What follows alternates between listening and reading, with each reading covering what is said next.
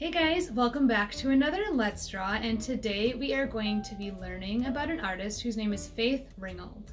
Faith Ringgold was born in New York in 1930. Before she became very famous for her art, she was an art teacher in New York City. She is very talented at many different kinds of art, but she's most well known for her story quilts. Quilt making is one of those things that a lot of people don't see as art. If you're making something that's useful, a lot of people don't think that could also be art at the same time. So Faith loves to create stories with her quilts to turn them into pieces of art. One of her most famous story quilts is called Tar Beach, and it's also the inspiration for her children's book that I really recommend you listen to before we start. If you look in the description, you'll see a link to her reading her story, and you can watch it before we start our project.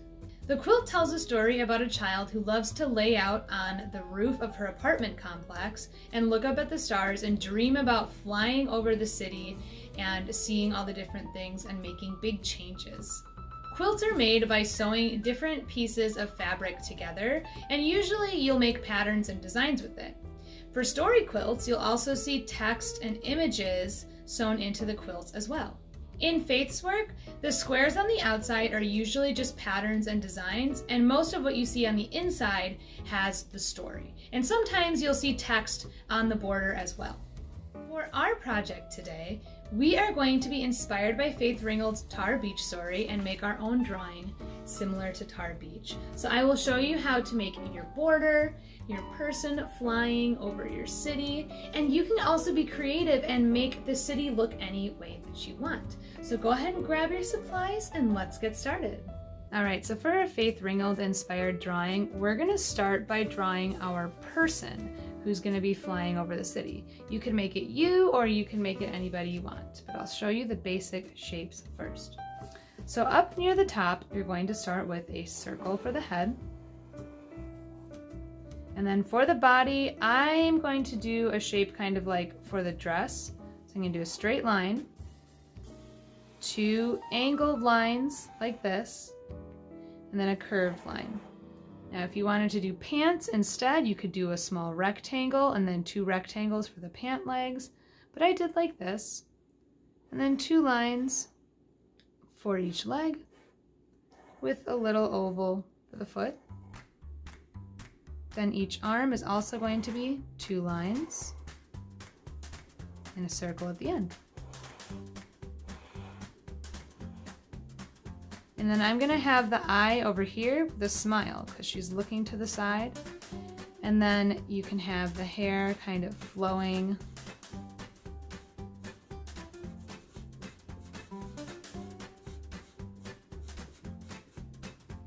If you want to add any patterns to the dress, you could do that too.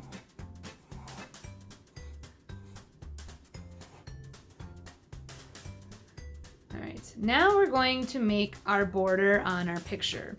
If you have a ruler, it's a great idea to use one. I'm going to skip it for this one though, because I don't mind if it's a little wavy.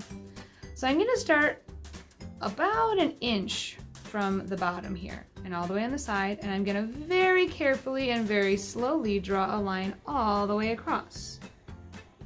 Trying to make sure that the amount of space between the line and the bottom is about the same all the way. Then on the side, I'm gonna do the same thing. Start about an inch over.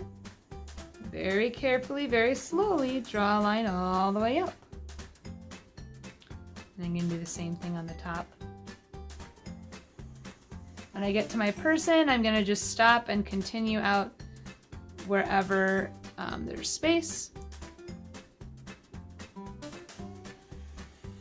And up and down like that.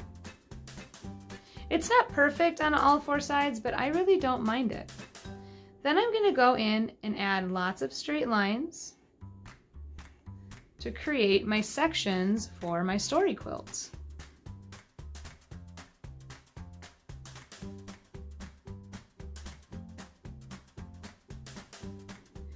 Now at this point, I would recommend that you go in and you add your colors and your designs to the border because if you wait until the end, you might not want to do it then. So I would go in and add different patterns, designs, colors. You could even add some shapes on the border.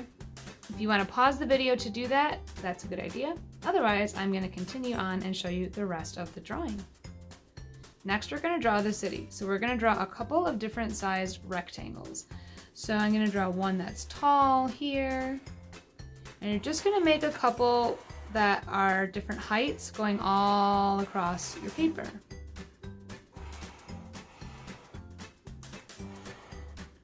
You can add triangles on the tops of some if you want to have a different shape for the roof.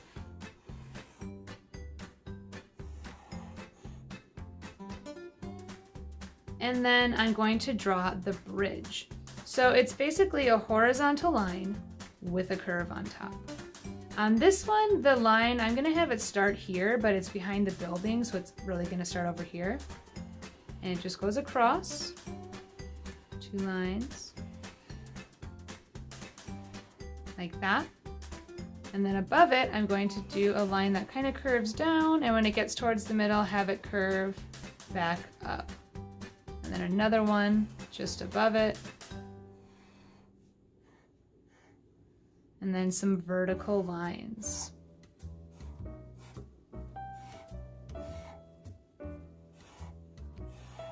And now I'm done with my bridge. Now I'm gonna add some details. So I can add windows, you could try squares.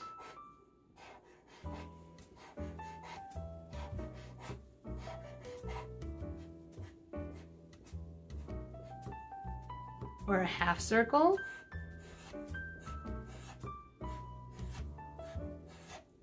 Or rectangles.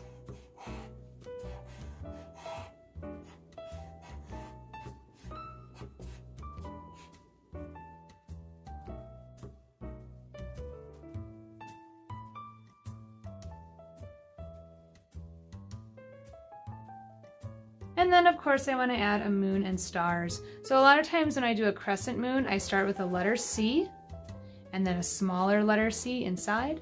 And for the stars, I'm gonna do little circles so that when I color it in, I'm gonna leave those little circles white. And that is all the steps for making your Faith Ringgold Tar Beach inspired drawing. Of course, when you color it in, it's going to look much more exciting kind of like this. So see how I did lots of colors on the quilt border and I also added lots of colors to my buildings and my sky and my person. And when you're all done, I think it's a really fun, colorful, and exciting drawing. Well guys, I hope you had fun learning about Faith Ringgold and making your Tar Beach inspired drawing. I love the book and I love her art and I hope you guys had fun too. I will see you next time for our next drawing video. Bye!